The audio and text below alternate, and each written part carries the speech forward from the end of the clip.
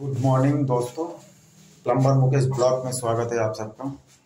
आइए, आप सबको दिखा रहा हूँ गीजर किस तरह फिटिंग किया जाता है। ये फॉल स्लिंग लगेगा। ये आप देख सकते हैं, ये फॉल स्लिंग लगेगा।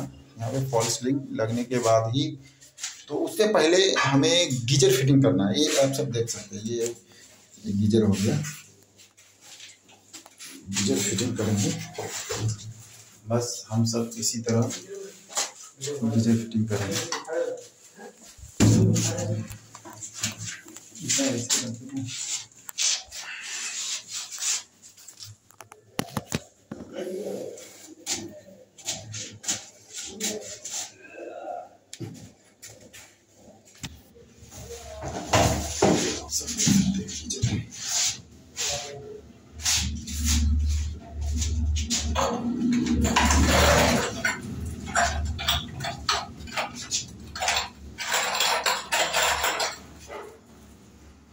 आटा थोड़ा ऊपर ये सोजा है? हम्म।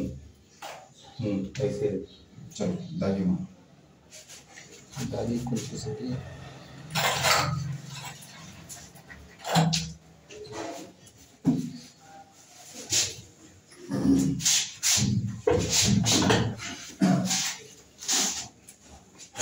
वहाँ पे तरफ़ करना